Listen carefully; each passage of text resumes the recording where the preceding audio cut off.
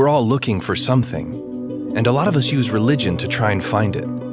To have something in our lives that can help us make sense of the world and our place in it. Something to help us see beyond the darkness and get a glimpse of something more. We all try and satisfy it in different ways, but deep inside all of us, there's a yearning to find the way.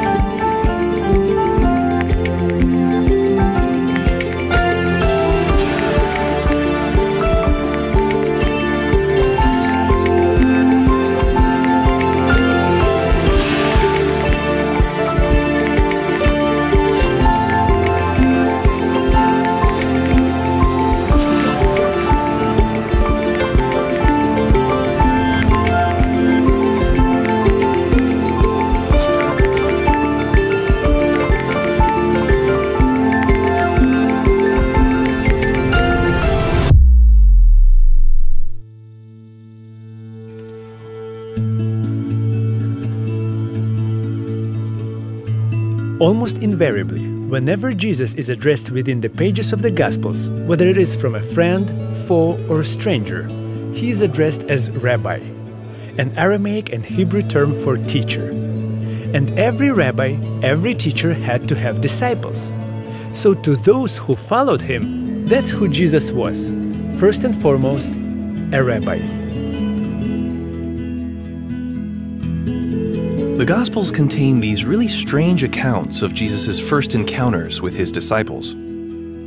For a while, I couldn't figure them out.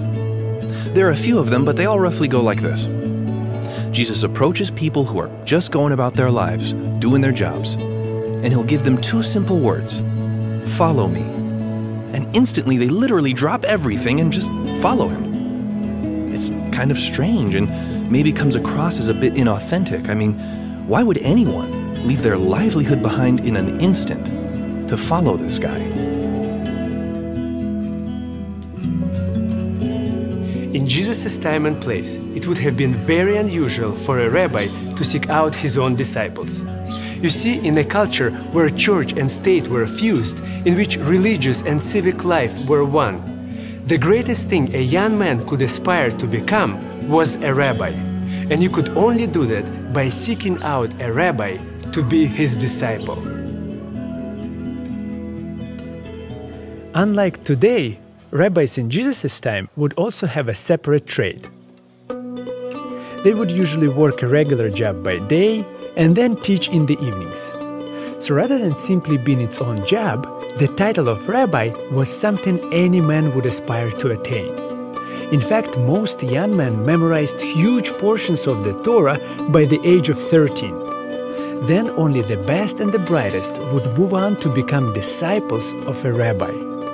It was an extremely difficult process, and those who couldn't cut it would have to settle for a life of working an everyday job and nothing more.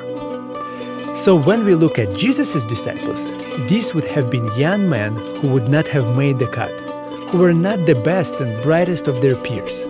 Instead, they had to move on with their lives and take on other jobs.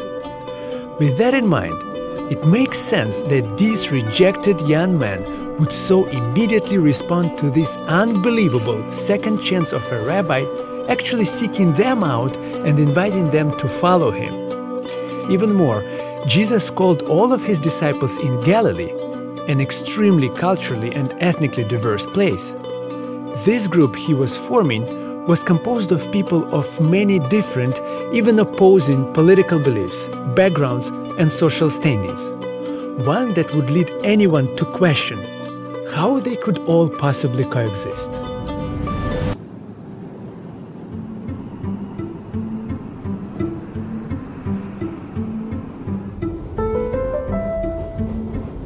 New York is one of the most ethnically and culturally diverse cities in the world. Pretty much every major religion is well represented here. And no matter their beliefs and practices, any religious teacher's job is to guide people to some sort of a way a way of thinking, a way of living, a way of being. So, to explore that role further, I spoke with a teacher and a leader from a religion I was less familiar with.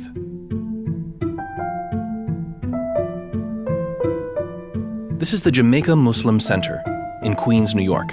It's the largest Islamic center in the city.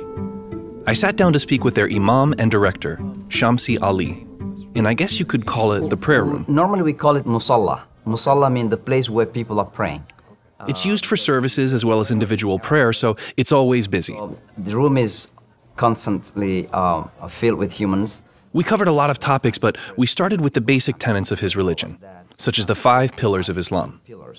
Number one is to testify that there is no God worthy to be worshipped but God, and believe in Muhammad, and also uh, praying five times daily, fasting in Ramadan, giving charity, and the last one is pilgrimage to Mecca.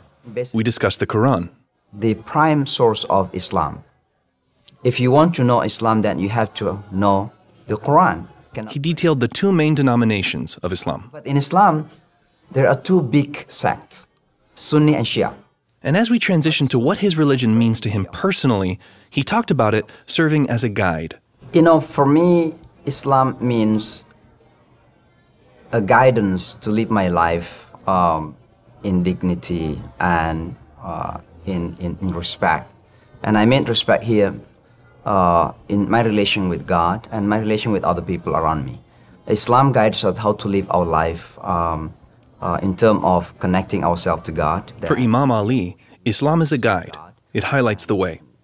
But when he first immigrated to this country by moving to New York, he suddenly found himself in an environment of many different people with many different ways of life and belief systems.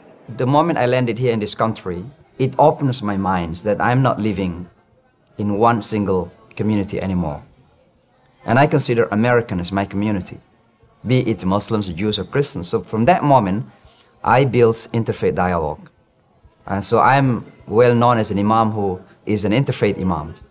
You know, so I'm leading Muslims here, but I'm, you can find me in the churches, in the synagogues, and different places. So he sought ways to build bridges with people of different religions.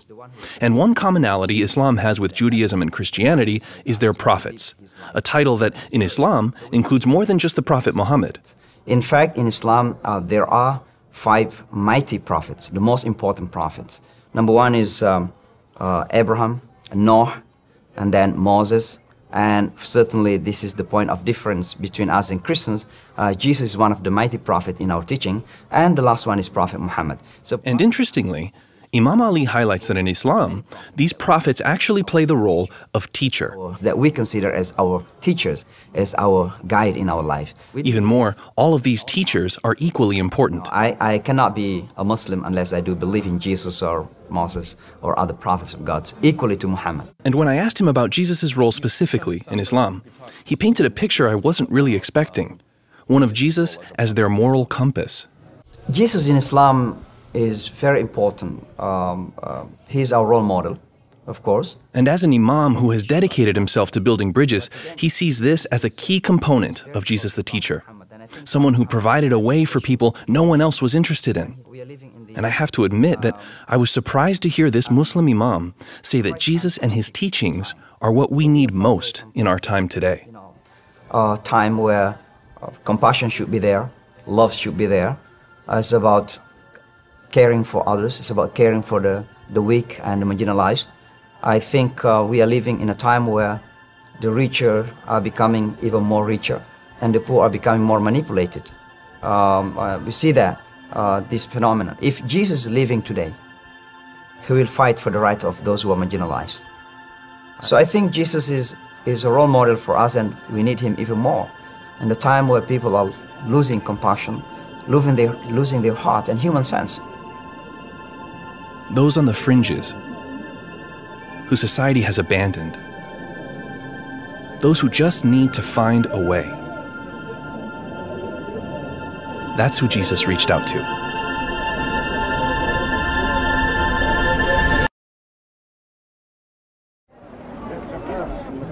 Towards the beginning of Luke's Gospel, Jesus goes back to his hometown of Nazareth and announces the beginning of his revolution. But he does it in a very rabbinical way. He goes to the synagogue, stands up, and reads from the scroll of Isaiah, describing a mission to reach out to the weak and the marginalized. Then he does something totally unexpected. He claims that this scripture has just been fulfilled in their hearing.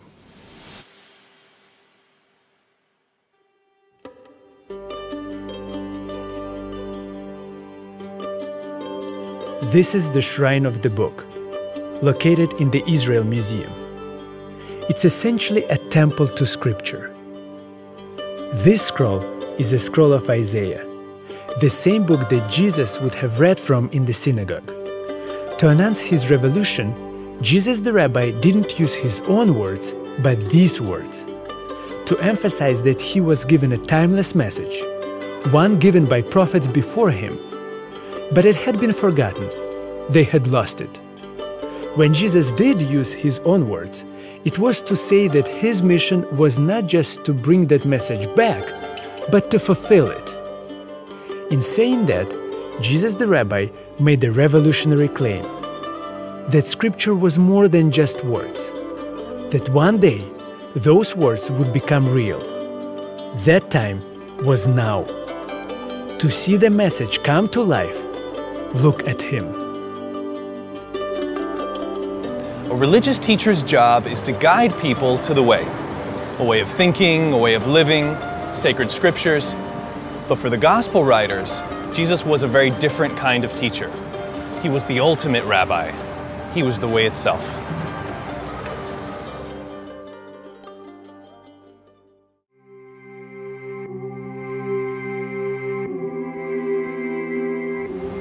Think what's so dissatisfying to people about some of the modern teachers of Christianity is that that's basically all they do teach.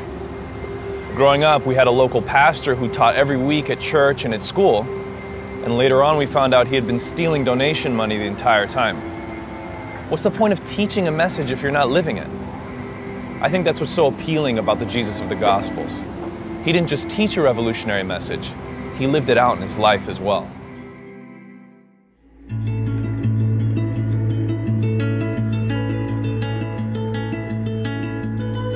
When Matthew begins laying out Jesus' revolutionary manifesto, the Sermon on the Mount, he highlights an interesting detail. Jesus sits down and gathers his disciples around him. This is exactly what a rabbi would do. He goes on to give many beautiful, sometimes difficult teachings.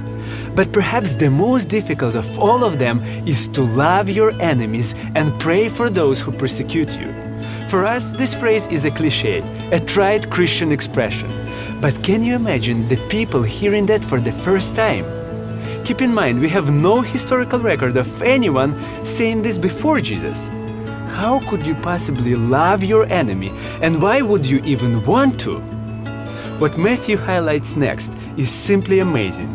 As these questions are still ringing in his disciples' heads, Jesus descends from the mountain, and one of the first things that happens is he encounters a Roman centurion, the literal embodiment of Jewish oppression. He was the enemy. He and his kind were responsible for thousands upon thousands of Jewish deaths. This centurion then asked Jesus to heal his servant, whom he loved. Just try to imagine that. That would be like a Nazi approaching Jewish doctor asking him to heal one of his own. How could you possibly grant that request? To everyone's shock and amazement, this Jewish rabbi immediately heals the centurion's servant. Jesus was a rabbi who did not just teach, he lived what he taught. And his disciples were witnesses to all of it.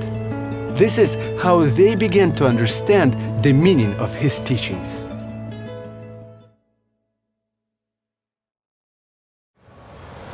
There's a famous Ben Franklin quote that says, Tell me and I forget. Teach me and I may remember. Involve me and I learn. That's exactly what Jesus did. He wasn't just a sitting rabbi, he was a walking rabbi. He taught by example.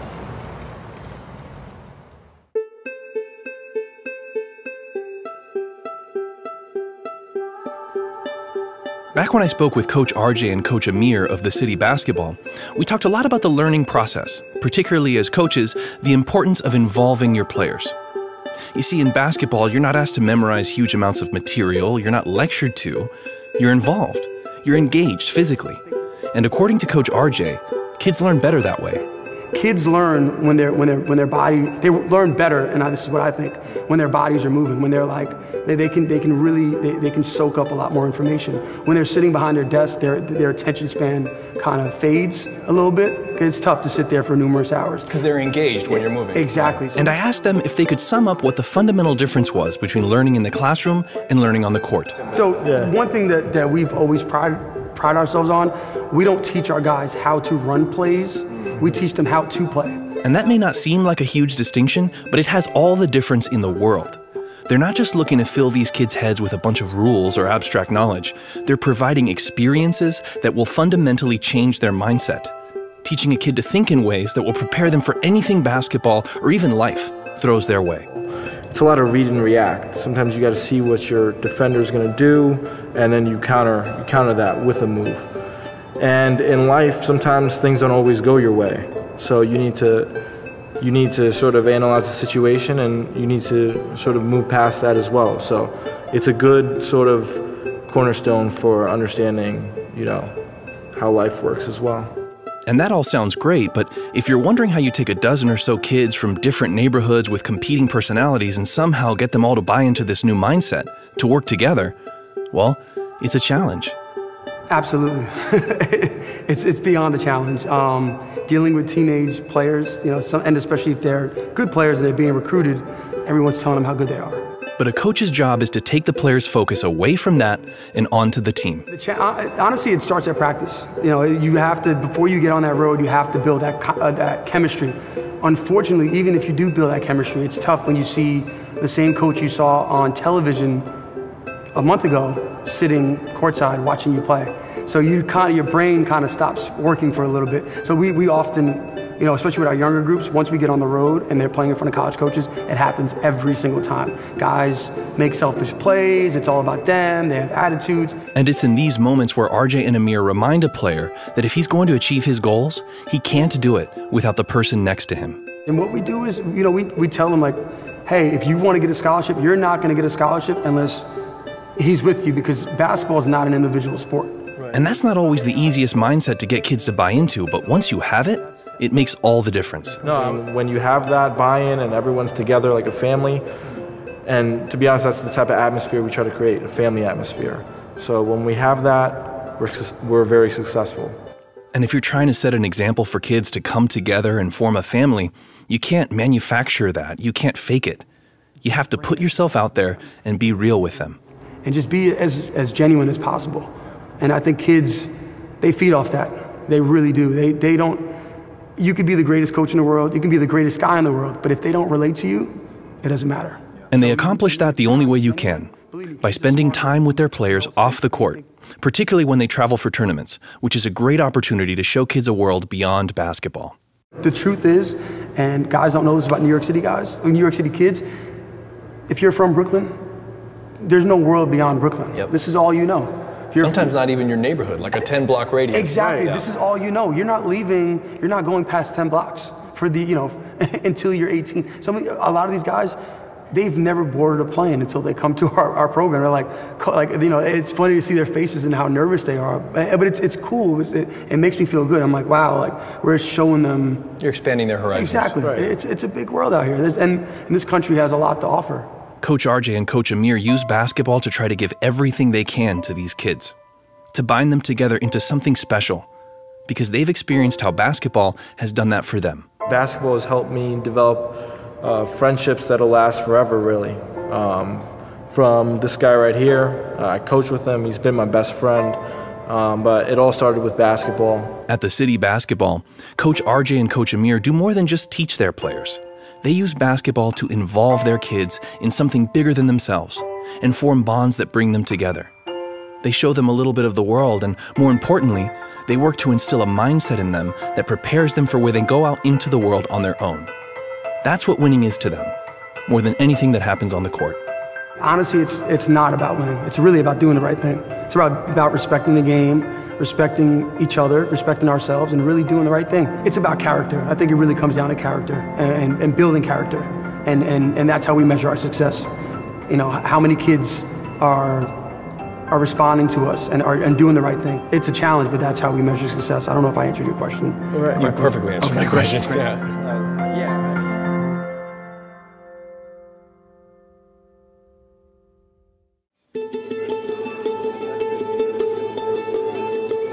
As a teacher, Jesus' goal was to do more than just teach his students.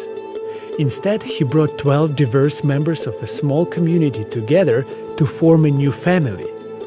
In fact, Jesus even called them his friends, saying he would die for them. More than that, he prepared them to go out into the world. After all, he was a revolutionary who wanted to change the world, and he didn't try to do it on his own. We see this even in the 12 disciples he chose, a clear allusion to the 12 tribes of Israel. With these 12 disillusioned, reject followers, Jesus was creating a new kingdom. And this revolutionary rabbi empowered these 12 followers to do what he did to advance his revolution, so that the whole world could experience the peace, hope, and love that bonded them all together.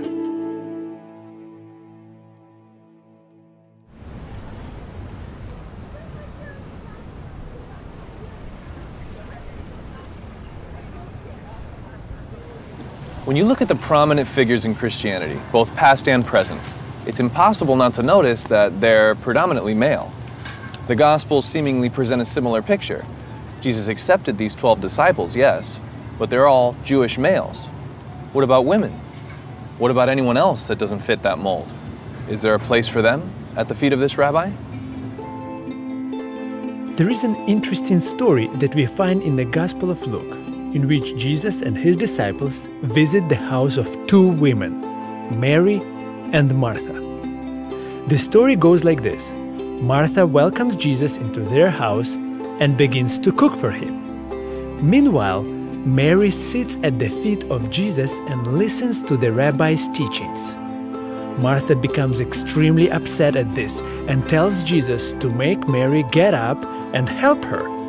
After all, with the disciples there, she has over a dozen people to feed and no one to help her. But when we take a closer look at the first century world this took place in, we find that another aspect of this scene would have appalled Martha as well. Mary is sitting at the feet of this rabbi. You see, in that time and place, a common phrase used to indicate that you were a disciple of a certain rabbi was to say that you sat at their feet. In that world, women were second class citizens. Most of them could not read, and history doesn't tell us of any women who were disciples of a rabbi in that time. So, looking at a culture in which higher learning was only for men, in which following a rabbi was only for men, we can understand Martha's shock at seeing her sister learning at the feet of this rabbi. My favorite part of that story is the last line Mary has chosen the better part, which will not be taken away from her. In a world in which various people and institutions, some of them religious, try to label us, limit us, tell us who's in and who's out, the words of this rabbi speak just as powerfully now as when he first said them. Anyone is free to choose to follow him, learn from him, be empowered by him, and no one can take that away from you.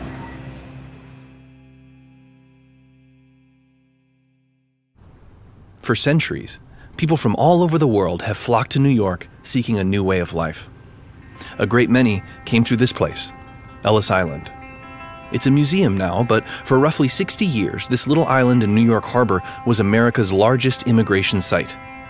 In that span of time, over 12 million people came through here, fleeing wars, racism, poverty, religious persecution, to try and find a better life. The names of those who came through here serve as a reminder that this city, like this country, is meant to be a community of all communities. A place defined not by a particular culture or ethnic group, but by people of all kinds trying to find a new and better way in life. On approaching Ellis Island after a long journey, this statue, the Statue of Liberty, was the first glimpse of New York the newcomers would see. For those fleeing rejection, persecution, and oppression, this great woman, known as Mother of Exiles, was a symbol of a place that accepted those that the rest of the world didn't want. But that idea is a lot older than this statue or even this city. In fact, the words of the poem engraved on the Statue of Liberty have a strong resemblance to the words Jesus the Rabbi read when he first announced his revolution.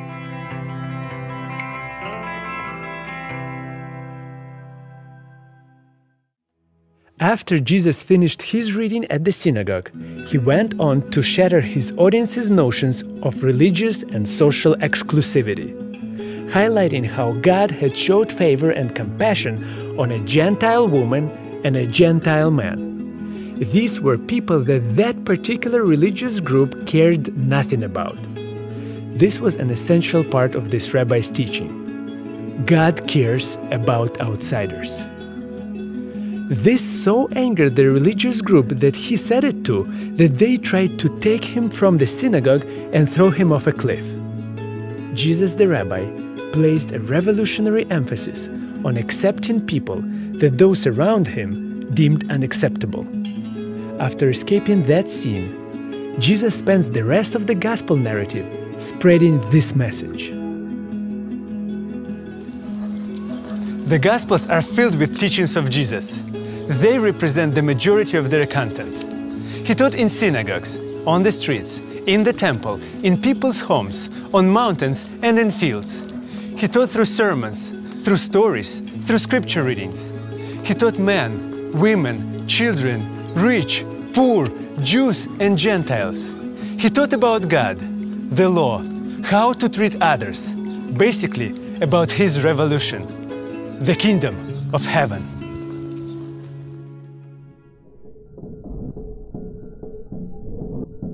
The diversity of the people Jesus taught and accepted was immense. And although his teachings were many, their message was simple.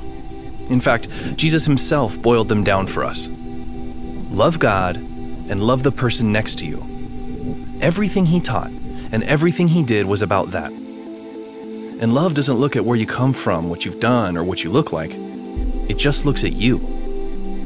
And maybe that's why so many people followed Jesus, because he looked at them and loved them. This rabbi didn't just teach those at his feet, he picked them up and he showed them the way.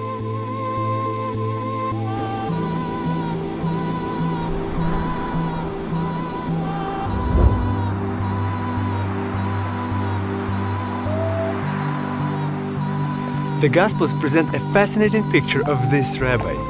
They say, Here he is, look at his teachings, look at how he lived, look at how radically he accepted and loved people. He invited the world to follow him, leaving those who encountered him with the question Is this a rabbi I'd like to follow?